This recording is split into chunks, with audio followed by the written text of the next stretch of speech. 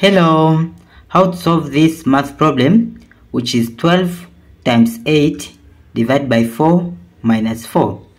So from this problem we'll solve it by using BODMAS BODMAS rule. Whereas B is bracket in here we don't have bracket or order we don't have order or exponent. D is division we have here division 8 divided by 4.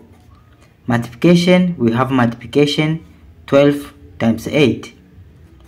Addition, we don't have addition. Subtraction, we have subtraction 4 minus 4. Then from this our problem, we'll start to deal with this division and multiplication operation and then addition and subtraction operation but we don't have addition so starting with division and multiplication operation, which will start to deal with what starts first. In here, it starts with multiplication, then division. So it will be equal to from 12 times 8, 8 times 2 is 16, go with 1. 8 times 1 is 8 plus 1 is 9. Then divide by this 4 minus 4.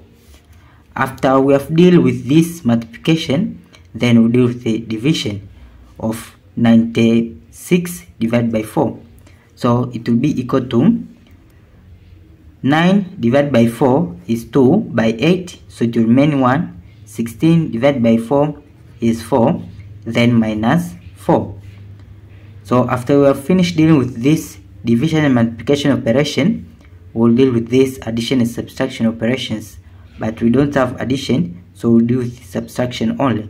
Whereas we have here subtraction of 24 minus 4 which is equal to 20 so this is our final answer. Selecting the multiple choice it is A. Thank you for watching. Don't forget these steps to miss out. Subscribe to my channel and see you in the next video. Bye bye